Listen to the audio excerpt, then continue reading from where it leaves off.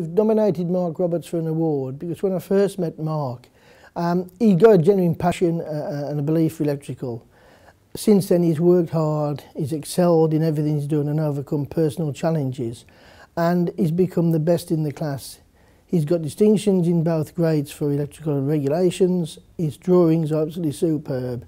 He deserves this award because of his outstanding enthusiasm, his commitment to work and get the highest standards.